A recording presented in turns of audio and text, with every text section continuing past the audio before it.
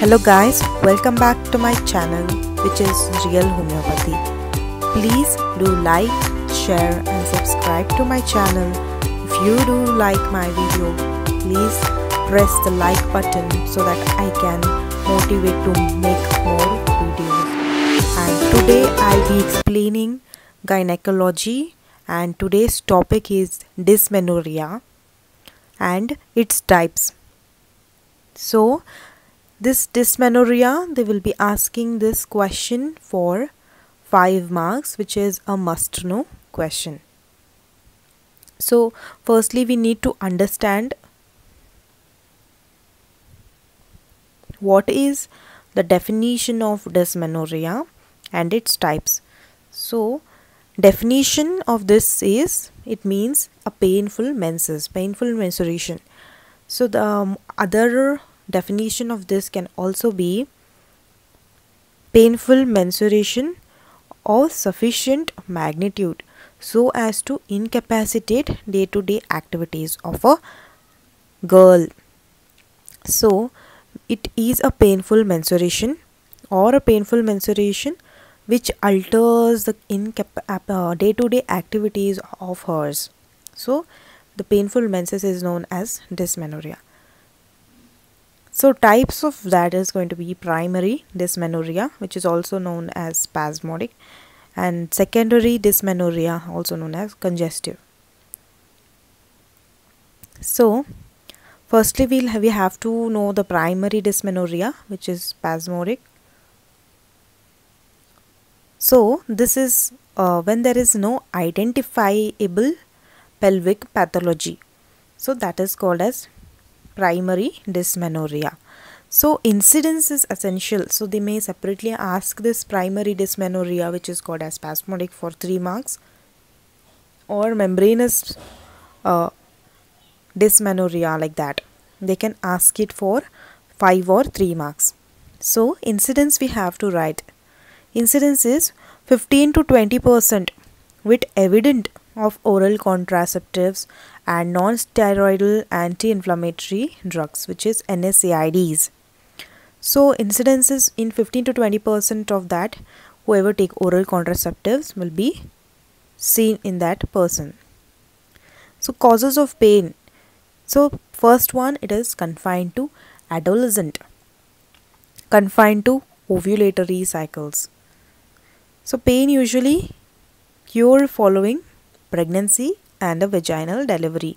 So pain here is going to be cured after the pregnancy or following the pregnancy and a vaginal delivery. So next one so the pain here is related to dysrhythmic uterine contractions and uterine hypoxia. So hypoxia means absence of enough oxygen supply to the uterus. So the pain is related to dysrhythmic contractions of uterus. Next one is psychosomatic factors of tension and anxiety during adolescence and lower the pain threshold here. It, Uh, so the cause may also be psychosomatic like tensions, any stress that uh, the girl may carry in her adulthood Next one is abnormal anatomical and functional aspect of myometrium. So next one here is the uterine. So this one is abnormal anatomical. Any pelvic anatomically the girl may have any something like functional disturbance in the myometrium, the layer of the uterus. So next coming to the other cause here is uterine myometrial hyperactivity. Has been observed in cases with primary dysmenorrhea. So the next cause is imbalance in autonomic nervous control of uterine muscles. Imbalance in autonomic nervous control of the uterine muscles. There is overactivity of the sympathetic nerves here. So due to that overactivity of that sympathetic nerves there is hypertonicity of the circular fibers of this isthmus and internal os of the uterus so the pain of uh, the relief of pain following the dilatation of the cervix or following any vaginal delivery may be explained by the damage of the adrenergic neurons which fail to regenerate. Role of prostaglandins prostaglandins.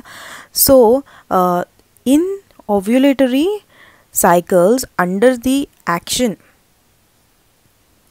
so in ovulatory cycles under the action of progesterone which is a prostaglandin which is PGF2 and PGE2 are synthesized from the secretory endometrium so PGF2 alpha is a strong vasoconstrictor which causes ischemia angina also called as angina of the myometrium. So, we will see the role of prostaglandins here.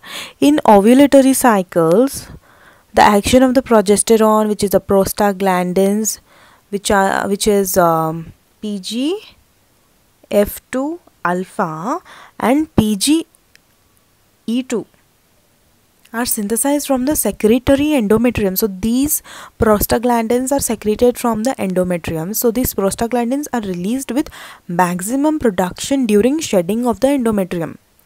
So uh, maximum production during shedding of the endometrium. When the endometrium sheds, so during that time prostaglandin is released in the maximum production. So PGF2 alpha is a strong vasoconstrictor here. So the possible cause of pain owing to uh, JZ which is shown here which is shown here JZ myometrial contractions okay the cause of this primary dysmenorrhea the progesterone here PGF2 alpha synthesis and release and uh, I'll explain this uh, endothelin and all I'll explain so I have explained about this now. Reduced blood flow, hypoxia in the previous this thing, previous um, slide I have explained that angina. Uh, okay, reduced blood flow, hypoxia. Here ischemia, angina here which leads to pain. That is also the cause. And next coming to the other cause here we'll see role of vasopressin so this increases prostaglandin synthesis and increases myocardial activity directly here. So it causes uterine hyperactivity and dysrhythmic contractions which ultimately leads to ischemia here ischemia and hypoxia ischemia and hypoxia it causes ischemia and hypoxia here next coming to platelet activating factor. So PAF it is associated with cause of dysmenorrhea and its concentration is higher. Platelet activating factor. So uh, in the back slide so here what it says here endothelin and leukotrienes and platelet activating factors i have explained it here platelet activating factor i'll be explaining it and uh, endothelin leukotrienes will come in the next slide okay platelet activating factor I have explained. So it is associated with the cause of dysmenorrhea as its concentration is found high. Okay. Next coming to leukotrienes uh, and platelet activating factors. These are vasoconstrictors and it stimulates the myocardial contractions. Primary dysmenorrhea, the patient profile we will see. The primary dysmenorrhea is insanely is seen predominantly it is confined to adolescent adolescent girls which appears within 2 years of menarche coming to clinical features pain lasts for few hours may extend 24 hours or even beyond 48 hours.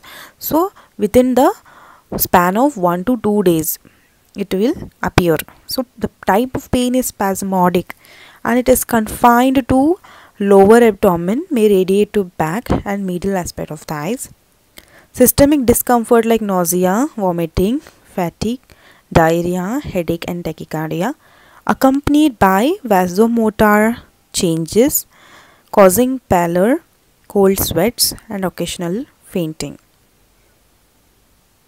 rarely syncope and collapse. Secondly, we will see that was all about the primary dysmenorrhea. Coming to secondary dysmenorrhea, it is a must know question where they will even ask this separately for 3 marks. So this is associated with pelvic pathology. So the primary wala it was not associated with the pelvic pathology but secondary it is associated with the pelvic pathology. Causes here we'll see Causes here is endometriosis, adenomyosis, IUCs which is intrauterine contraceptives in uterus, obstruction due to Müllerian anomalies, anomalies, cervical stenosis, pelvic adhesions, uterine fibroid, pelvic congestion, endometrial polyp, chronic pelvic infection. So this is the cause. Causes is endometriosis adenomyosis intrauterine contraceptives obstruction cervical stenosis pelvic adhesions uterine fibroids chronic pelvic infections pelvic congestion all of it. Next uh, coming to clinical features of that. Pain here is dull and it is in back and radiates to lower abdomen. Appears 3 to 5 days which is prior to period before the periods and relieves during the onset of bleeding. Investigations transvaginal sonography where you have to uh, detect any pelvic pathology for that like uh, leiomyoma and adenomyosis.